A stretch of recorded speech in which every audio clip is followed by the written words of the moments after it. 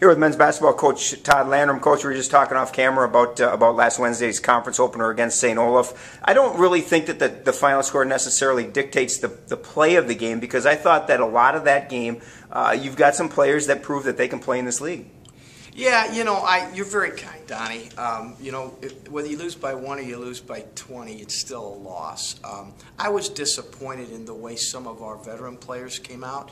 I told them it's a great opportunity when you come back home and maybe get a little people, some people behind you.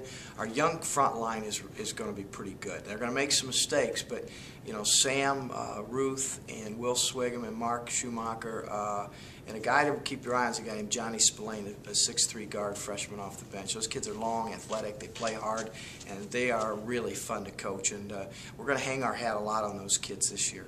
Yeah, Mark had a great game, 19 points for him, and then uh, as, again, as we were talking off camera, Will had a double double. You know, those are the kind of things that I think teams are going to start taking notice of. A lot like when Mike Burfine was younger, and uh, all of a sudden people say, whoa, this kid can play. With a couple of them like that, hopefully you get Mike back. Uh, that front line, that inside game is going to be pretty good for you guys. Yeah, I mean, we need our guards to play the way they're supposed to play because we've got some good young front line kids now, and they're athletic and long and do some good things. So if our veteran kids can kind of step up and you know, do what they're supposed to do. They're good players, good kids. They want to win. You know, uh, maybe the combination will come. I don't think we're going to be a real good team until after Christmas. I think we're still, you know, we have different lineups every game. We're trying to figure this thing out, and our freshmen are still on a roller coaster a little bit. But uh, uh, I think if we just stay the course and stay positive, uh, all of a sudden this thing might catch fire. Let's talk a little bit about uh, about Monday's game against Hamline. It, it really kicks off kind of a busy stretch for you before the Christmas break. You go Monday, Wednesday, Saturday, and then you go again on Wednesday. So it's a busy time for you guys. Uh, talk a little bit about the, the, the kickoff to that busy week with, uh, with Hamline.